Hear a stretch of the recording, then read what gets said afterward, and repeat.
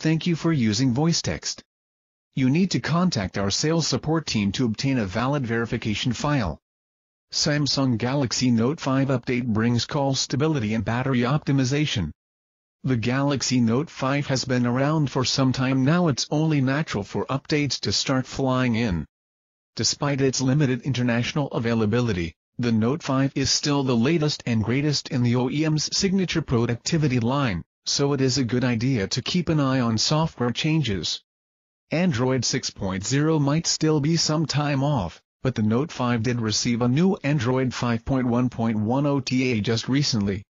Users are reporting that the package, N920IDVU2AOJ4, is seeding in Singapore for all CSC codes, XSP, SIN, STH, and MM1. It weighs 144.2 megabytes and according to the changelog brings improvements to call stability and battery usage optimization. This all sounds great, but there's one more thing worth noting. Among other things, the firmware update claims to bring security improvements. Users are already reporting that this is accompanied by a Knox update and does trigger an eFuse, a flag that used to be 1A is now 2A.